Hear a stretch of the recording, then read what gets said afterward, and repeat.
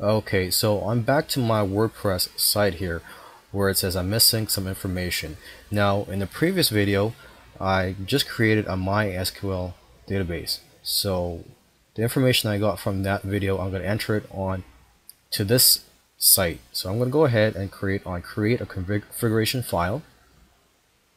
And so now I brought with a message here where it says they need my database name, my database username, password, and host. So continue.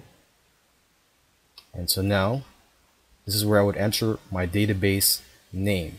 So the database name that I created in the previous video was Francis underscore test WP2. And the username just happened to be the same thing as well. And password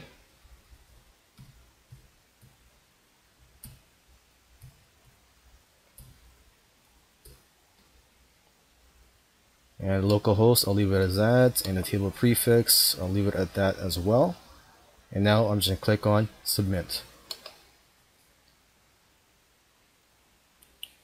There so that step is complete. Now I'm just going to click on run the install.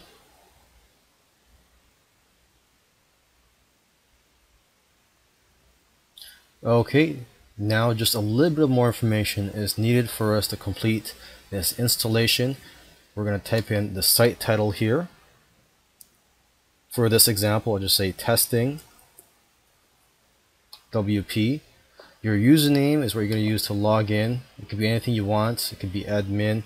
Let's just leave it at admin for now.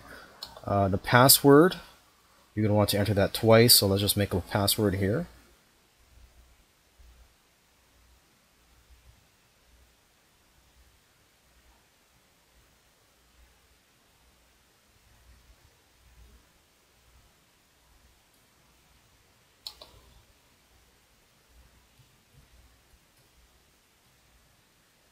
And your email.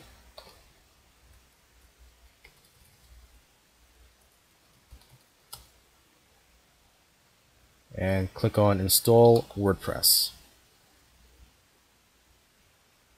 And there you go. Installation is complete.